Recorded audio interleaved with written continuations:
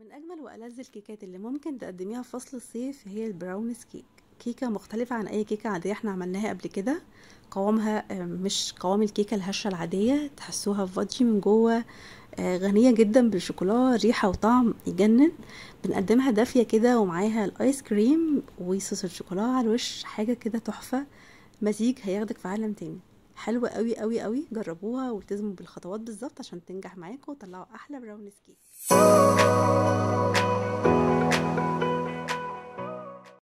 أهلا إزيكم؟ عاملين إيه؟ يا رب تكونوا بخير. لو دي أول مرة ليكوا هنا على القناة أنا غادة والنهاردة هنعمل براونيز كيك.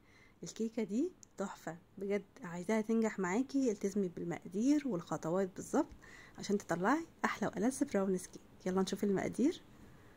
في البداية هنحتاج آه، رشة من الملح وشوية من الفانيلا. هنحتاج 200 جرام من الشوكولا يفضل تكون dark نص كوباية من الزبدة وهسيب لكم طبعا المقادير في صندوق الوصف.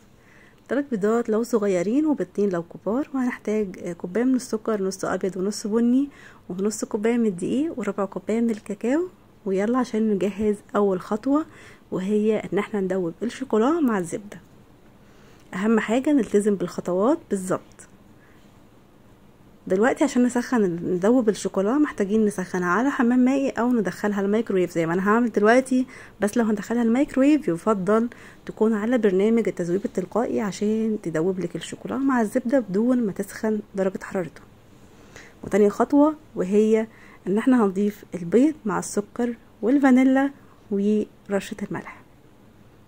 والخطوة دي مهمة جدا. ما تستغنيش عنها. أنا لما حاولت أختصر الخطوات عشان أسهل لكم الوصفة النتيجة ما طلعتش مرضية فبلاش تختصروا الخطوات وامشوا زي ما أنا عملت معاكم بالظبط. هنقلب الخليط ده كله مع بعضه وبعدين نروح نجيب الشوكولا من الميكرويف. هتكون دابت. أهم حاجة بعد ما نطلع الشوكولا من الميكرويف نقلبها كويس. بيكون لسه فيها قطع ما دابتش تماما وبنخليها شوية في درجة حرارة الغرفة لحد ما تهدى كده وبعدين نبدأ نضيف لها خليط البيض والسكر. وإحنا بنضيف خليط البيض والسكر هنضيفهم بالتدريج ونقلب لحد ما يتجانس الخليط ويختفي البيض تماما. ودلوقتي هنروح للمرحلة الثالثه وهي آخر مرحلة الكاكاو والدقيق. مهم جدا قبل ما نضيف الدقيق والكاكاو للخليط ننخلهم كويس عشان أي تكتلات في الكاكاو هتبوظ لك خليط الكيك. نكون مسخنين الفرن بتاعنا على حرارة 180 قبل ما نجهز الكيك بتاعنا عشان مجرد ما نخلص ندخلها على طول الفرن يكون سخن. هنمزج بقى كل المكونات دي مع بعض لحد ما يبدأ يختفي الدقيق والكاكاو تماما ويتجانس الخليط كده مع بعضه. بعد كده هيبقى جاهز معايا إن هو يتصب في القالب بتاعي ويدخل على الفرن. القالب بتاعي حوالي عشرين في ستة وعشرين تقريبا. مهم جدا يكون لون فاتح ما يكونش تيفال يعني. نستخدم ألومنيوم. أنا ببطنه بالزبدة وبستخدم ورق زبدة قصيت الورق بالطول وبالعرض على مقاس الصينية بتاعتي. لو مش متوفر عندك ورق زبدة عادي جدا هنستخدم دقيق مع الزبدة.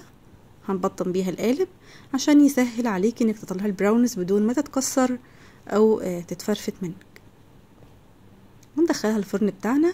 هتقعد معاكي من خمسة وتلاتين لأربعين دقيقة على حسب حرارة الفرن. أهم حاجة أول ما تطلع ونحس إن هي استوت نختبرها كده بخلة أسنان أو بعود شوي خشبي. لو طلع نضيف تمام كده الكيكة استوت. لو لسه فيه آثار الشوكليت أو عجينة الكيك معناها محتاج يستنى أكتر من كده. أنا بخليها في الفرن في حرارته حوالي خمس لعشر دقايق وبعد كده ببدأ أطلعها. في حرارة المطبخ لحد مثلا ما تبرد تماما لأني لو طلعتها وهي لسه سخنة هتتبهدل وتتكسر مني وأنا بطلعها. أو شكلها حتى هيتغير. نعرف إزاي البراونز بتاعتنا ناجحة لما نشوف الطبقة دي كده على الوش؟ معناها إن البراونز بتاعتك ناجحة وزي الفل. ودي شكل البراونز بتاعتنا شكلها تحفة. مش عايزة أقول لكم قد إيه الريحة جميلة جدا. خلاص هي كده دلوقتي بردت. هبدأ بقى أطلعها من الصينية وأقطعها. ونشوف الجمال بتاعها ريحتها وطعمها تحفة. بجد جربوها وإن شاء الله تعجبكم جدا. حتى لو بردت منك دخليها الميكرويف شوية. وبعدين قدمي معاها الآيس كريم وزينيها بصوص الشوكولا وقدمي أحلى تحلية. لو عندك ضيوف لعيلتك حاجة كده تحفة. وشكلها بيكون شيك جدا. هتحسي إن انت عاملة حاجة كده wow. شايفين الجمال؟ شكلها تحفة بجد.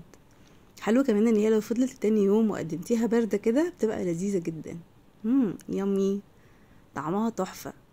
من جوه fudge كده والشوكولاته باينة فيها طعمها خطير. وريحتها حلوة جدا. دلوقتي بقى هناخد الآيس كريم بتاعنا وأفضل حاجة ليها الآيس كريم الفانيلا. عشان هي بتكون كلها شوكولاتة فهنكسرها شوية بالآيس كريم الفانيلا بتاعنا. لو حابين تستخدموا آه أي نوع تاني تمام. هنزينها بقى بصوص الشوكولاتة دلوقتي وبقى جاهز معايا أحلى وألذ براونز جربوها وإن شاء الله هتعجبكم جدا جدا. ويا سلام بقى لو إحنا عاملين الآيس كريم في البيت. إن شاء الله هننزله قريب وهشاركه معاكم بطريقة سهلة ولذيذة جدا جدا. وده شكلها.